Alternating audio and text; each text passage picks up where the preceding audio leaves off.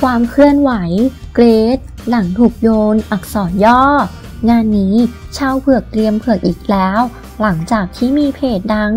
อย่างปล่อย โป๊ะ ได้ออกมาโพสต์ข่าวเมาส์เลิกไม่เลิก สรุปยังไงพระเอกผิวสี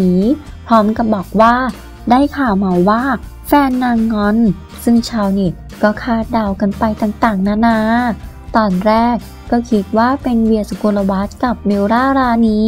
แต่ในอินสตาแกรมของทั้งคู่ก็ยังสวีทหวานกันอยู่ ก็ไม่น่าจะใช่คู่นี้ล้าต่อมาก็เป็นคู่กันนภัสกับมารี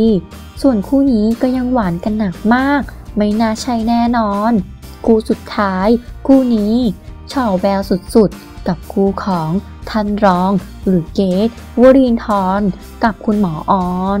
ล่าสุดก็ได้ไปส่องอินสตาแกรมส่วนตัวของทั้งคู่ ก็พบประเด็นที่น่าคิดมากๆ เมื่อคุณหมออรได้ unfollow Instagram ของหนุ่มเกรทไปแล้ว แต่ในขณะที่ฝ่ายชายยังคงกดติดตามอยู่ปกติ งานนี้ก็ไม่รู้ว่าคุณหมออร แค่งอนเฉย หรือว่าเลิกกันไปแล้ว อันนี้ก็ยังไม่รู้ได้ ต้องรอดูทั้งคู่ออกมาเคลียร์ให้ฟังกันอีกทีนะคะ ถ้ามีความคืบหน้าอะไร เดี๋ยวทางเราจะนำมาอัปเดตให้ทุกคนได้เผือกกันต่อ